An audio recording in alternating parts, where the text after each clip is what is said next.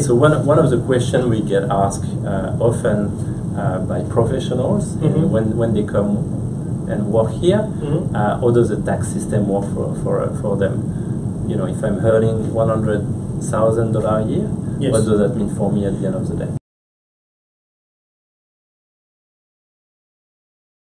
Right. So as a professional, so what what Leo you're talking about is an individual uh, employee, and that is a very simple way of uh, working in Australia. You basically work for one employer, and that employer will have to work out how much tax to hold back every month or whenever you get paid. So let's say you get paid every fortnight, and uh, you make uh, three thousand dollars a fortnight, all all inclusive then the employer has a tax table that they use and they will hold back that amount of tax and pay it to the government once every quarter or once every month depending on their circumstances. So as an employee you don't have to worry about it as an employee. And at the end of the financial year you will be able to lodge a tax return. And if you have overpaid tax uh, you get a refund. And if you've underpaid tax you just have to pay a small amount. So that's that's easy to do. I'm new in the country. I'm signing a contract uh, for $100,000 a year. right What, what does that mean for me? How much do I get in my pocket?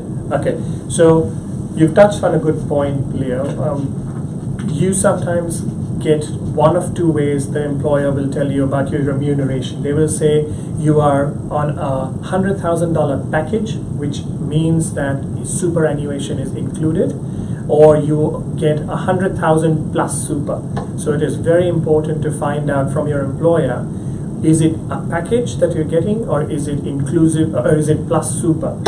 Uh, to put matters simply if they say plus super it means you will be get, getting paid uh, $109000 on a $100000 salary.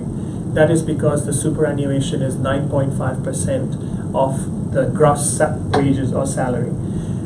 But if you are inclusive as a package, then your gross income is close to $91,000 and the superannuation is close to $9,000, which makes up a total of a $100,000, right? So your take home will be based on $91,000 less the tax on it, which would be, uh, well, we'll have to work out the tax tables. I can't do it off the top of my head but your take home will be after tax. So the, uh, the ATO will probably take out, uh, not the ATO, the employer will take out probably $3,000 in tax every month and give you um, the remaining amount, whatever's left behind. If you want, we, there's, a, there's a good app.